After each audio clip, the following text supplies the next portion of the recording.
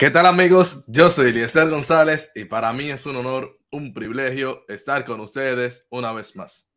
Señores, otra semana más del béisbol de las grandes ligas y a mi lado, como cada semana, el hombre de este espacio, el hombre de grandes ligas, Manuel Bobadilla Ramos. ¿Qué tal, Manuel? Bueno, saludos Eliezer y a todo ese público que nos está sintonizando en este nuevo episodio de Manuel Responde. Manuel Responde, donde aquí analizamos los temas de actualidad de las grandes ligas. Eh, yo quisiera antes de empezar agradecer el apoyo de, muchísima gente, a, colegas eh, que han valorado el trabajo de, nosotros y en especial de un, de un servidor que de eh, que desde que comenzamos con este programa el año pasado han apostado eh, por mí, el caso del grupo de WhatsApp que estamos el 6 y, yo, un grupo que tenemos ahí que está Domingo Batista, y España, es mi amiga, el colega Natacho Eusebio, el, el, y todo eso que le gustan el, el béisbol y recientemente, eh, como eh, decíamos, Johnny Trujillo y el caso de una corea venezolana que está aquí en el país, eh, Sonia Natacha, que también es una colega que le agradezco que esa valoración por el trabajo. Así hemos estado, Manuel, escalando. Muy, muy merecido esos saludos que acabo de hacer a todas esas personas que nos han dedicado su apoyo. Pero en especial también queremos agradecerles a los, a los escuchas, a los oyentes de este espacio, que no solamente se limitan a mirarnos a través de, de YouTube, sino que también nos escuchan a través de las plataformas digitales de audio donde gracias a ello debutamos, Manuel, por primera vez este espacio llega a, los charts de Apple, de Apple Podcast y estamos número 3 en República Dominicana en categoría de béisbol. Hablando de pelota, eh, que es el espacio donde sale Manuel Responde a nivel de, de plataforma de audios y indudablemente que nos sentimos agradecidos por ese apoyo. Y antes de empezar también, Manuel, y que recuerden que ahí que le den a seguir lo que nos están escuchando en, en Apple. Claro, para que le llegue la notificación cada vez que sale eh, uno de nuestros episodios. Sí, y que sigan, que se suscriban a los que están en YouTube. Que nos sigan las redes sociales que están aquí abajo, los que están en YouTube. Arroba Manuel Deportivo, en mi caso, en, en Instagram, en Twitter, arroba MBR Deportivo. Y el, eh, el caso tuyo, Eliezer González, Eli González en toda la plataforma, en Instagram. Así es, gracias señores por ese apoyo y estamos esperando que continúen compartiendo lo que hacemos. Porque quiero mencionar, Manuel, que en categoría béisbol debutamos número 3 esta semana, primera vez en el año que tenemos haciendo ese espacio, que entramos a los charts. Previamente lo habíamos hecho con la pelota de aquí lo cual también quiero agradecerle porque fuimos la temporada pasada número 6 y en las primeras dos temporadas fuimos número 1. Ahora estamos con este espacio debutando. Claro, estamos debutando ahora número 3 y quiero mencionar que el número 1 pertenece a mlb.com, el, espacio que está número 1 en el país, y el número 2 es un podcast de México. Así que la tarea de nosotros los dominicanos es llevar este espacio que es el que está charteando número 3, llevarlo al número 1 en nuestro país, que es la República Dominicana. Y antes de empezar, Manuel, quiero extenderle un abrazo fraternal y mis oraciones a la familia Novoa Valenzuela por el fallecimiento a destiempo de nuestro querido profesor y colega César Alexander Novoa Valenzuela, que fue un pilar en el crecimiento de nosotros como abogados, Manuel. Un colega de nosotros que fue además nuestro maestro educador en la universidad UNAPEC, y verdaderamente que nos agarró Manuel en una circunstancia en medio, medio de, la Semana Santa, una persona bastante joven, tenía obviamente pese a su juventud algunas complicaciones de salud Eh, me voy a reservar la razón de, de, la muerte porque he recibido varias versiones, las dos ligadas a complicaciones de salud, pero no me toca a mí decir cuál de las dos versiones de salud fue la que al final le costó la vida a nuestro querido amigo, profesor, colega César Novoa, que de verdad no a mí particularmente me distinguió con su trato. Fue una persona que que marcó mi vida positivamente en mi trayecto de la universidad en varios cursos que tuve el chance de ser su alumno, porque era un tipo muy elocuente y encima... derecho constitucional, procesal constitucional y administrativo y fiscal. Exactamente.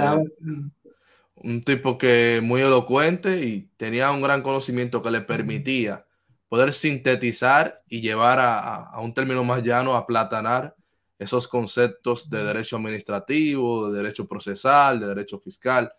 En fin, que fue realmente un ser humano grandioso para quienes tuvimos la oportunidad de conocerle y ser su, su alumno. Le, deseamos eh, fuerza a sus familiares, extendemos ese abrazo fraternal, elevamos esas oraciones en favor de ellos y de esa alma que no es una luz que se apaga, sino que ahora con Dios va a brillar por el resto de la existencia, Manuel. Bueno, yo que fui su alumno y que yo creo yo he aprendido mucho de, él. Eh, yo me impresionó, me, sorprendió la noticia, igual que a, ti. Yo creo que eh, solamente hay que decir que descanse en paz, que, que brille para él la luz eterna y que Dios le dé la fortaleza a su, a su familia y que lo que, nos, lo que nosotros hemos, lo que hemos tratado con él, lo que debemos es quedarnos con esos recuerdos de ese ser, de lo, de lo que nos sembró y de lo que, que eso, ese aprendizaje que él como hombre que fue educado. Sí, un hombre de los tribunales y de las aulas. Eh, definitivamente perdimos a un gran ser humano. Eh, que eso, que lo que, ese ejemplo que él nos dejó a cada uno, lo podamos eh, seguir. Y nada, yo digo que descanse en paz. Amén. Bueno, entonces ya pasando al béisbol. Eh, vamos a pasar a otra noticia de ya en plano de béisbol, pero de igual lamentable. Y fue la fatídica lesión en la jornada del domingo que tuvo el dominicano Unil Cruz en, un, en una colisión que tuvo con el mexicano Selvi Zavala, eh, Zavala, en el partido de, de donde los White estaban eh, visitando a los Piratas de Pittsburgh. Y ahí hubo una colisión en el plato, señores, que terminó en tobillo roto para el dominicano de Monkey, que lo vimos también en la pelota invernal y del que hablamos mucho durante la pelota de aquí, que es el podcast de esta familia STM sobre pelota de invierno. Y lamentablemente para los que están en YouTube, vamos a poner en pantalla las imágenes de lo que sucedió con O'Neill Cruz, que eh, había empezado bastante bien Manuel, chocando bastante bien la pelota, algo muy característico de él, juega una defensa que promete ser premium en ese, en ese campo corto, tremendo brazo, un super atleta. Y hay que ver, ya confirmaron que sí, la lesión del tobillo. Eh, vamos a ponerle esto en pantalla. Sí confirmaron la lesión de edad, porque aquí no es un tema de nacionalidad, sino de conjunto de equipos, señores. Y lamentablemente en esta jugada, que los que están en YouTube pudieron mirarla, Manuel, salió lesionado nuestro O'Neill Cruz, un muchacho que promete mucho, que el propio Aaron Josh dice que ha visto, que dice Aaron Josh que ve mucho de sí mismo en O'Neill Cruz. Y esa pregunta, esa respuesta vino a una pregunta en relación de que como O'Neill Cruz es uno de esos jugadores bastante grandes, de lo más alto de grandes ligas, junto al propio Aaron George. Hicieron una pregunta por eso, por el tema de, que son bastante grandes, que no es algo normal un pelotero sobre los, los 6'5, en el caso 6'7 de O'Neill Cruz. No es lo normal y por eso vienen esos tipos de preguntas y esos tipos de respuestas, Manuel. ¿Qué tienes que decir sobre el tema de O'Neill Cruz antes que pasemos al próximo. Cruz, que ustedes saben que es un talento eh, de nuestra pelota en dominicana, y que es un muchacho que le han tenido la, las mejores proyecciones, una promesa yo creo que tiene el equipo de los, los Piratas y sin lugar a dudas es una baja muy sensible para los Piratas. Este, eh, este muchacho, igual que Key Brian Hayes, que, que juega a la tercera base, son dos muchachos que prometen mucho para el equipo de los Piratas. Y One Cruz, que bueno, aquí la pelota invernal demostró. Y que estaba, vamos a decir, estaba yendo bien, eh, había comenzado bien con una línea ofensiva de 250, 375 eh, y, un, eh, y 375 con un OPS de 750 da mucha pena.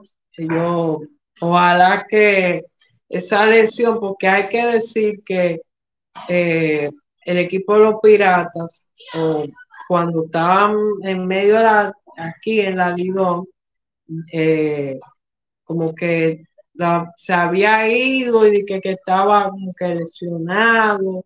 Eh, y eso que Sí, hubo una situación bastante extraña, ¿no? Eh, por ejemplo, Audo desmintió que hubo lesiones. Sin embargo, el informe oficial de los Piratas de Pittsburgh era que sí había una lesión. Eh, el año entero, los gloriosos Tigres del Licey y su laureado gerente general tuvieron muchos problemas de comunicación. Saludo a mi gente querida, los Tigres del Licey, que tengo mucha gente buena allí en los Tigres del Licey, pero por la verdad murió Cristo. Hubo muchos problemas de comunicación eh, de Tigres del Licey la pasada temporada invernal y ese fue una de ellas. El caso Neil Cruz, primero sobre su entrada, que lo anunciaron para el primero de noviembre, jugó 26 días después. Se habló un tema de que si era salario, aunque Audo al final dijo que no era salario, pero luego sale O'Neill y empieza a salir la noticia de que O'Neill se fue lastimado. Audo dice que no es lastimado, pero Piratas dice que lo paró porque estaba lastimado. En fin, ya eso, ya eso pasó.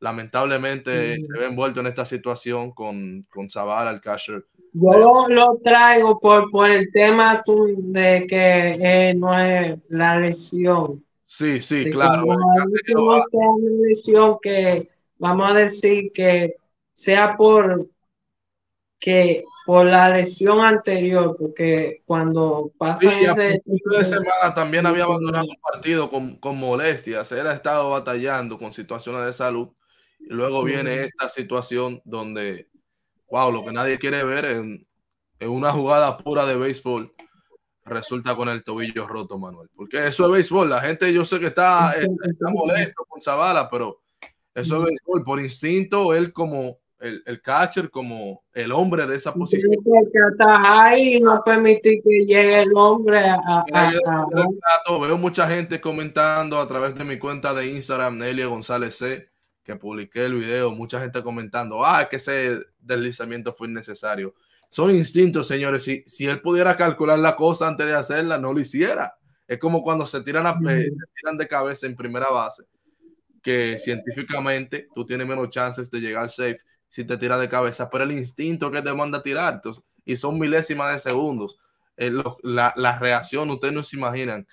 El béisbol no es tan fácil como se ve en televisión, Manuel. Y, un catcher no, no, no lo tiene tan fácil, está ahí sentado a, a recibir los lanzamientos del pitch. Y entonces, tener que, si hay jugadores en el, en, el cuadro, que evitar que si se roba la base, tienen que tirar, tirar la, la, pelota y tiene que saber, porque eso de receptor, eso no es, no es fácil, porque tú tienes que saber cómo tirarlo eh, y, y, tener ese instinto. Entonces, cuando llega la pelota al, al cache y viene, viene un corredor, que, que lo primero que se le debe venir a la mente es tengo que atajarse hombre que no, que no entre.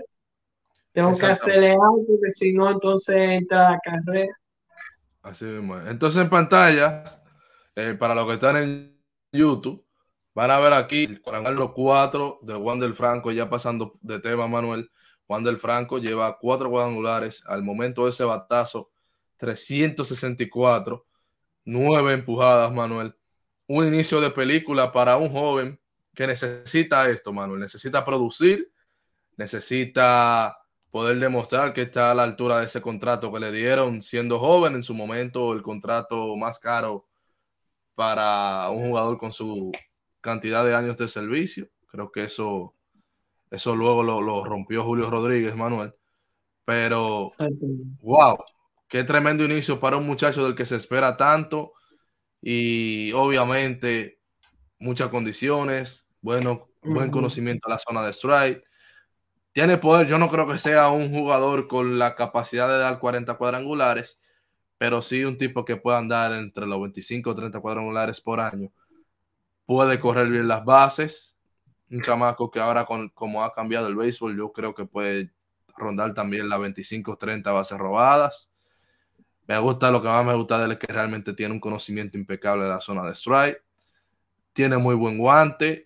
Yo creo que Wander Franco, como paquete completo de esa posición, pudiera con su potencial convertirse no en el mejor shortstop de la República Dominicana, puesto que a mi gusto todavía le pertenece a William Adames, sino que él puede convertirse en el mejor shortstop del béisbol de las grandes ligas. Porque lo que él te puede conjugar cuando con salud, que es lo que, porque estábamos hablando de potencial, no estamos hablando de, de realidad palpable, pero con salud él proyecta que pueda hacerte un trabajo por encima de un Francisco Lindor, que es un shortstop muy completo, probablemente el mejor shortstop de su generación, o con Carlos Correa, que también es un shortstop muy completo, batallando también entre los mejores shortstop de su generación. O en el caso de la actualidad, que muy posiblemente el mejor shortstop del juego se llama Trey Turner. Cuando tú haces una comparación, una comparación de talento y habilidades, tenemos a un Wander Franco que es más defensivo que Trey Turner, y también que presume que puede tener un mayor poder que Trey Turner. O sea, al final, si lo compara con Swanson, estamos viendo a un Wander Franco con que tiene mejores selección de picheos. Si lo comparas con el propio William Adames, se aplica también aquí lo que sería la disciplina en el plato. En sí, que este muchacho puede poner en el juego, tiene el material de ser el mejor de esa posición, Manuel. Háblame de su arranque. Mire, eh, con respecto a Wander Franco, que eso ya tiene un WOBA de 484, que es eh, para un inicio de temporada eh, muy impresionante y que ha sido una de las de, los, de las piezas que hasta ahora ha ayudado al equipo de, de, de los de los Reyes que han empezado sin perder, eh, sin perder. Tienen nueve y cero. Tiene el equipo de los Reyes.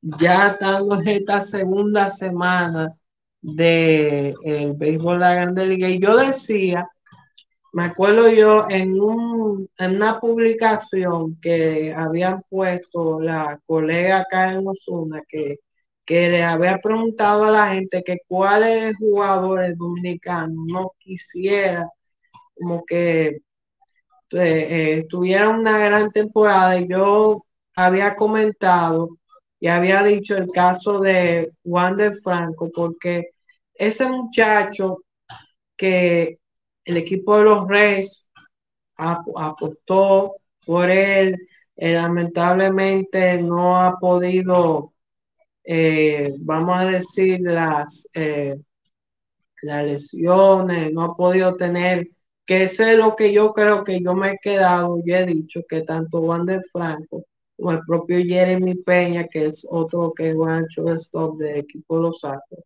que yo quisiera ver una temporada, que, que puedan tener una temporada completa, yo quisiera que ese muchacho, así como ha estado empezando la temporada, igual yo he dicho, con Julio Rodríguez, que es otra estrella en ascenso que han Manuel, aprovechando que mencionas a Julio Rodríguez, y discúlpame, pregunta que salió en el último episodio Manuel Responde por parte de nuestro amigo y hermano Domingo Batista, miembro fundamental de STM, preguntaba que si ves el potencial de Julio Rodríguez de competir por un premio al jugador más valioso de la Liga Americana.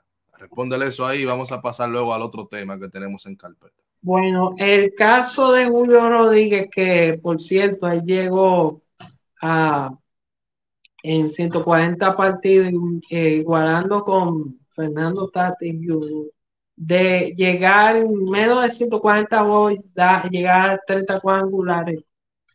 Yo mirando, si no ve eh, eh, las proyecciones, como él, vamos a decir, tomando de referencia a la temporada pasada, porque esta temporada estaba iniciando, yo creo que hay gente que eh, ve que él tiene el potencial y yo creo que veo que puede que, Julio Rodríguez, si él, como por ejemplo, si las proyecciones, tanto las que le dan en 2023 como la, los próximos dos años, que le dan unas proyecciones, le dan más de 150 hits y de ser un jugador de rondando casi los 30 cuadrangulares.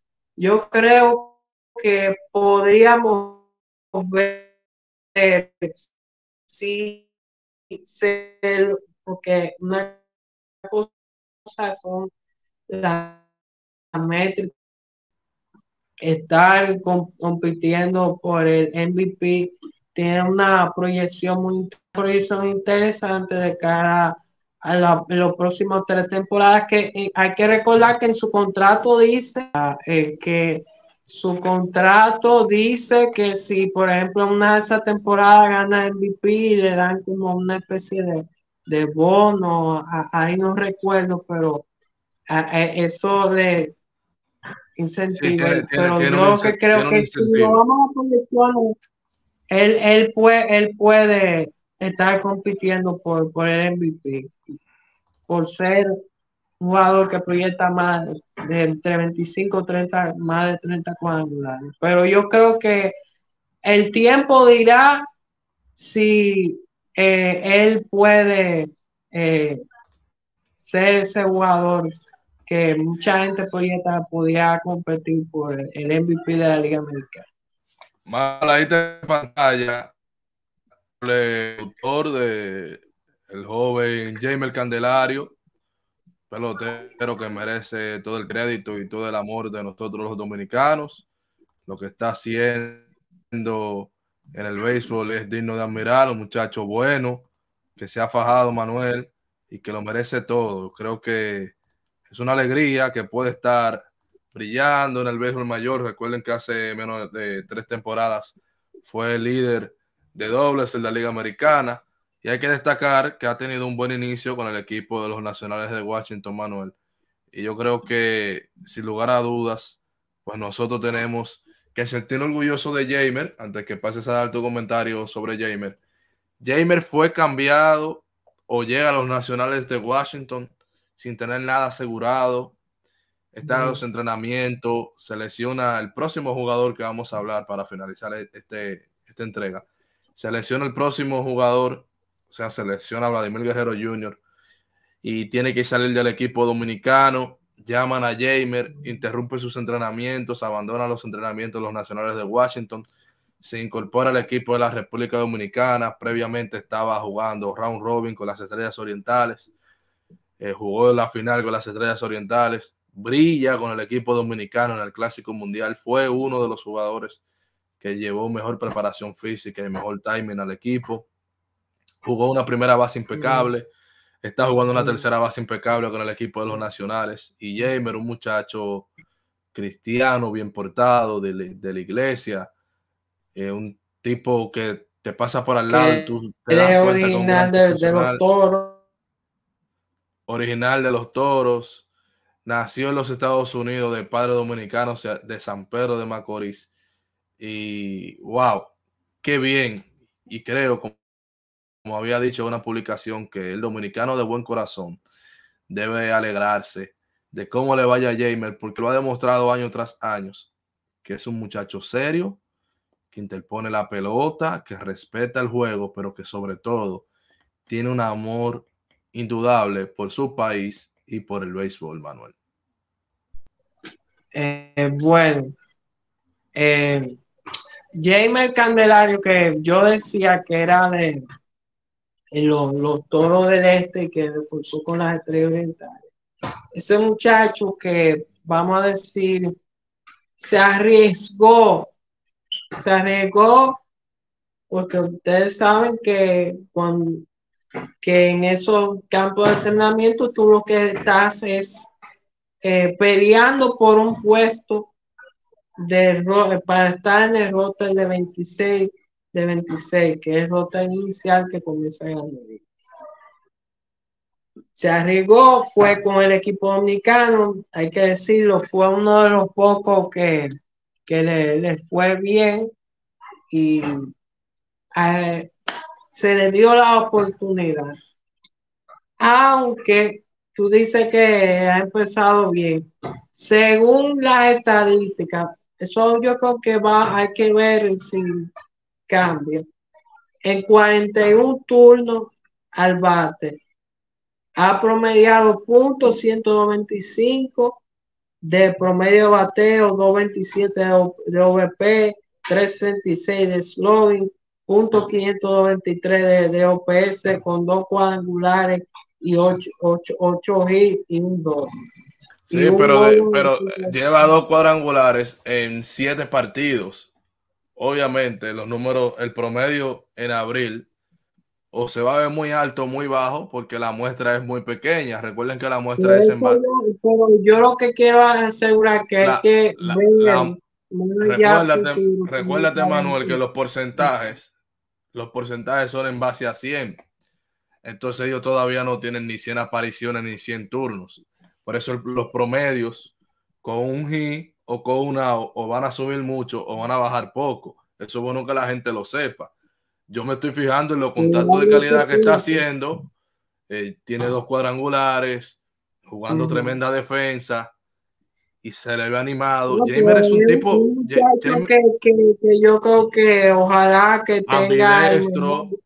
Jamer es un tipo que, que jugando pelota se transforma, Manuel. Jamer un, un chamaquito más bajo perfil, tranquilo. Tú lo ves que está, cuando tú lo ves entrenando, en el caso que tuve la oportunidad de verlo muchas veces allá en República Dominicana, tú lo ves muy centrado, pero cuando esté en juego, es el que te va a poner la chispa, va a estar animado, vamos, vamos, vamos, vamos. Eh, y, y, tú lo vas, si pones la cámara en la banca, tú lo vas a ver en la banca que está tratando de mantener a todo el mundo involucrado, todo el mundo activado. Y esa parte ahí quería que la gente lo, lo pudiera entender. El por qué, porque siempre no sé si la gente ha escuchado, pero siempre se dice en béisbol que abril no es el mejor mes para tú sacar conclusiones. Y es por eso, porque el tema con abril es que recuérdense que los porcentajes son en base a 100. Entonces, ¿qué ¿cuántos turnos tú vas a tomar en abril, Manuel? Algunos 50 turnos, 20 turnos, 30 turnos.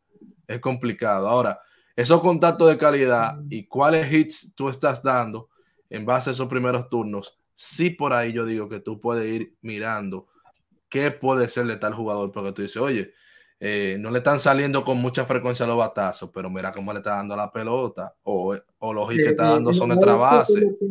Sabiendo seleccionar, porque por ejemplo, y yo eh, doy el caso con, con James, hay equipos que, por ejemplo, los Phillies que recientemente estaban en entrega de anillos, o los Cardinals, o equipos así que tú dices, pero qué, qué extraño que han empezado mal, que por cierto, recientemente ellos eh, ganaron en esta semana, eh, la semana que terminó, en esta segunda semana de Grande Liga, que pudieron ganar un juego a los Yankees han ganado dos de tres en su casa.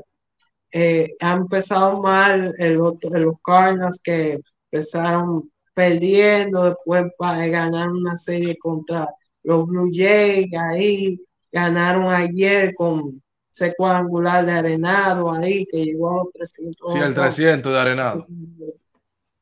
Exactamente, que se une con un grupo que está, está Musial, está el dominicano Albert Pujols, eh, Paul Gosling como jugadores eh, para decir así en general, que en la franquicia de los Cardinals llegan uniformado con 300 cuadrangulares y si nos vemos con en sentido de tercera base, Mike Smith, que 300 horrones y, y, y, 10 guantes de oro, que eso es algo impresionante. Pero yo te pongo ese caso de esos equipos para decirte que si bien es cierto, hay jugadores que empiezan mal y que otros que empiezan bien, yo creo que en los próximos meses vamos, se va como quien dice a normalizar, Y va todo a su causa normal. Como por ejemplo a los Reyes, no, no, es verdad que van a seguir ganando todos los juegos, que han empezado así, ¿no? el 9 y 0. Eh, pero eh, James Candelario, ojalá, y yo espero que, que tenga una buena temporada con los Nationals, que esa oportunidad que, que inclusive el arriesgarte, como tú decías, eh, como yo decía, arriesgarte y que le, fuera tan bien con el equipo dominicano. Que eso, que la pregunta sí, él, estaba, él, estaba, él, estaba, obligado a producir. Porque que sí, eh, eh, él se estaba arriesgando y, y, no solamente eso, era la, la pregunta que se respondió por sí sola, era si eso le iba a ayudar a que pudiera el equipo de los Nationals darle la oportunidad. Ya se le dio, entonces ojalá que, que él pueda descolchar y pueda tener una buena temporada. Así es. Entonces vamos a pasar a hablar del final. Emil Guerrero, Manuel, eh, que ha empezado también, ha lucido bien, eh, jugando buena defensa. Aquí, los que están en YouTube, pueden ver una, una gran atrapada que hizo en la, primera base aquí, cuando es un tiro, recogiendo, se despatilló como una bailarina de ballet para ponerle de out a, a Drew, estaba bateando aquí contra Pop. un lanzamiento de Matt Chapman, que es uno de los mejores tercera base del juego, pero aquí tuvo que tirar apresurado y Vladimir tuvo que ayudarlo aquí con esa, con esa jugada en la primera base, corriendo Chohei Otani también por ahí en los senderos. Y qué bien que estamos viendo a un Vladimir Guerrero cada día más cómodo en la primera base, un movimiento súper, súper atinado que hizo los Blue Jays temprano. Cambió a Vladimir a la primera base, que es algo que yo he tenido ya por años, dos años alrededor, abogando que suceda con Rafael Devers. El que es observador, minuciosamente observador, puede mirar cómo Devers cuando falla una jugada se frustra. No digo que no sea una reacción normal, pero él como profesional debe de siempre como, ok, fallé, pero no importa, voy a la otra. Pero se le nota que cuando falla se frustra, que no puede controlarlo, como igualmente cuando completa una jugada con, un con cierto grado de dificultad, se ve más sorprendido de lo que debería. Es decir, que todavía hoy, cinco o seis años después, enfrentando esa posición en las grandes ligas. Se ve un Rafael mm. Devers muy sensible, eh, con, ciertas lagunas en esa posición de tercera base. que yo. En, la, él, como bateador, vamos a decir, ha, sido bueno. Pero en la defensa, que eso siempre yo le he dicho, la defensa de él ha sido, vamos a decir, mediocre, ha sido entonces, yo, quiero, yo quiero darle un crédito, Manuel, a Devers, porque lo que, lo que saben de béisbol o llegaron a jugar pelota, sabe que es bastante difícil tú poder concentrar, concentrarte a batear, tú sabiendo que vienes de hacer una mala jugada y tener eso en la cabeza es difícil. Y yo pienso, pienso que si Rafael Devers hoy es top dentro de los jugadores de como bateador, como bateador zurdo, creo que cuando, cuando lo muevan a primera base, que ya él no tenga que pensar eh, en, esa, en esa posición, en ese, en ese handicap que tiene, creo que aún vamos a ver un mejor bateador que creo que fue parte crucial de ese rompimiento, de esa explosión que hizo Vladimir Guerrero Jr., amén del trabajo físico, el saber que no tiene que enfrentarse a una posición que no domina lo ha ayudado bastante a decollar. Y yo he visto que ha iniciado bien Manuel, pero ¿qué, ¿qué dicen los números de Vladimir Guerrero al inicio de esta temporada? Bueno, eh, Vladimir Guerrero Jr., que ha empezado, vamos a decir, su, si uno lo ve, las últimas tres temporadas, yo creo que este ha sido el mejor inicio para Vladimir Guerrero Jr. Que hay que decir, él, dice, él dijo que viene ahí la movie, la película, que lo otro era un trailer. Eh, yo creo que era iniciado, era iniciado muy bien su, en 41 turnos al bate en estos 10 juegos. El, el, reciente de ahora que terminó con los Angels, hoy domingo, actualización domingo 9 eh, de abril. En 10 juegos, 41 turnos, una línea ofensiva de 439, 510 y 610 con un OPS de 1120 con 10 con dos honrones, 18 hits, un doble, eh, cinco boletos, tres ponches y, y bueno, un boba de 484 y es decir que sin lugar a dudas, este es el mejor inicio que ha tenido la temporada, las últimas tres temporadas. Yo creo que el colega Eric Antigua había hecho, yo vi recientemente, que hizo un post de hablando de los, de los últimos eh, ocho, ocho, nueve partidos, por ahí ocho partidos, de 2021 al 2023, el 2021 que fue el año que compitió con el MVP con, con Y si uno ve, este es el mejor inicio de temporada de Vladimir Guerrero una temporada que ah, en medio de la pretemporada había un riesgo de que si qué era lo que iba a pasar, si la lesión, si ese problema que, había tenido, que lo sacaban de juego, iba a provocar que, no iba a empezar. Que los Blue los Blue Jays, los Blue y él hicieron el movimiento adecuado, que era removerlo de ahí. República Dominicana no es que va a pagar ese contrato. Así que eso era el movimiento. Bueno, vamos, como quien dice, y que él tenía, él era el que tenía que decidir.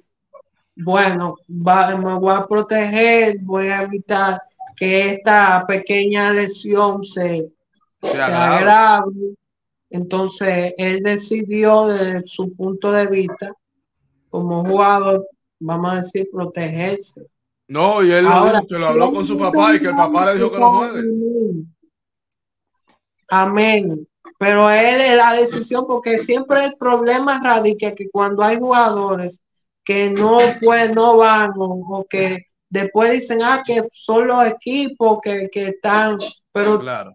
los equipos y yo estoy entrando en algo que yo he dicho, en el clásico mundial, y eso faltan tres años pues, para el 2026 otra vez. Pero los equipos no pueden prohibir, no prohíben a sus jugadores. Los equipos pueden recomendar, mira, y, y inclusive imagino los agentes, y que mira, no, tú no puedes para eh, evitar que te lesiones, mira que como tú estás buscando. Aquí, el, aquí el, problema, Manuel, que lo, hemos explicado en este canal, aquí el problema son, las aseguradoras. Y la, eh, exactamente, los seguros, porque también tiene que, los seguros. Y además, por, ejemplo, eh, el seguro... no, de, no de los equipos. Pero Te puedo recomendar. Entonces, para comentario final, para cerrar, agradeciendo a las personas que llegaron hasta esta parte, recomendándoles que nos sigan en las redes sociales, en mi caso, Elia González e, en todas las redes sociales, en el caso de Manuel, Manuel Deportivo en Instagram, MBR Deportivo en Twitter, STM, arroba STM Deportes en todas las redes sociales. Recuerden, hablando de pelota, en Apple Podcast, Spotify, Brickle, Google Podcast, donde a usted le guste escuchar sus audios. Y obviamente en este canal de YouTube, STM Deportes, Manuel. Comentario final.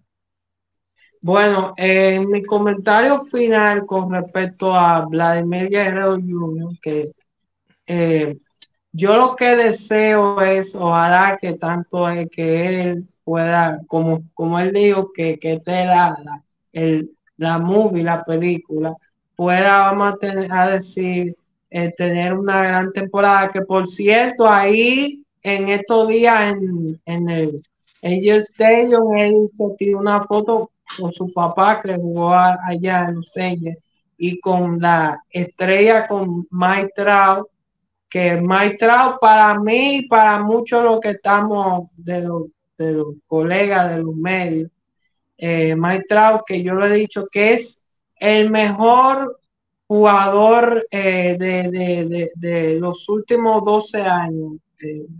Eh, yo, y sin lugar a dudas, eh, yo lo que creo que no, no hay que ser, hay que ser, hay que decir a ahí están los números que por cierto, yo investigando que eso después habla, eh, tendremos que hablar de eso, hay como dos o tres MVP que, que yo creo que él debió haberlo ganado, pero bueno, eh, la, sí las cosas, pero y eh, antes de, terminar con lo que estaba hablando, y yo decía de Juan de Franco, que Juan de Franco y este eh, eh, Jeremy Peña, y yo también decía de, de Julio Rodríguez, que esas estrellas, esa figura, yo espero que tanto esta temporada, esta temporada puedan tener y puedan seguir siendo eh, las, las, grandes promesas que, que, que, son, pues son grandes